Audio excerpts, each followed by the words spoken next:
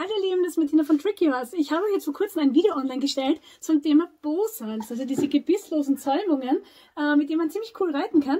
Und da habe ich euch kurz diesen Bosal Shaper vorgestellt.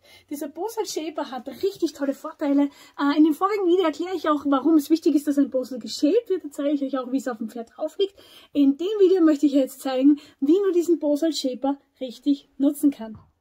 Und jetzt sehen wir mal, wie das hier aussieht. Also ich habe hier vier Knöpfe drauf. Das hat mir mein Mann gebastelt. Super lieb von ihm. Und hier oben, seht ihr, habe ich ein Klett. Mit diesem Klett kann ich den oberen Teil auch noch einspannen. Mein Pferd zum Beispiel hat relativ weit unten viel Kaumuskulatur. Oben wird aber wieder enger. Das heißt, hier oben ziehe ich mit dem Klett das ganze Teil etwas enger zusammen. Damit kann ich es oben enger shapen und hier unten trotzdem genügend Platz für die Kaumuskulatur lassen. Habe ich jetzt ein Pferd, das das weiter oben einen Freiraum braucht und ein schmäleres Gesicht hat, ziehe ich das Bosal einfach wieder weiter nach unten.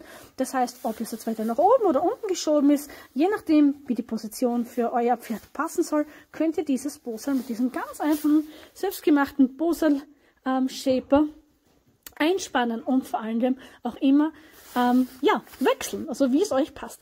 Äh, die Abstände von den Dingen, ich habe da glaube ich 4 cm und da 6,5 cm, aber das ist wirklich äh, äh, Geschmackssache, wie ihr es braucht für euer Pferd. Ähm, ich glaube von, von dem Punkt bis dem Punkt, also mit der Mitte sind glaube ich hier 4 oder 5 cm und ich glaube hier sind 6,5 oder 7 cm für den, der es nachbauen möchte. Unser Klettdinger, ja, da kannst du jede Schnur nehmen oder Gummibandel oder was weiß ich, was immer, was halt stabil genug ist. Ich finde den Klett super praktisch. Okay, ich hoffe, es hat euch gefallen. Lasst mir ein Like da. Ähm, das andere Video, das verlinke ich euch dann noch in den Kommentaren und, das, in, die Bio, damit ihr euch das ganze Video anschauen könnt, ähm, wie das Teil dann am Pferd dran liegt. Ich hoffe, es hat euch gefallen. Ich wünsche euch alles Liebe und bis zum nächsten Mal. Baba!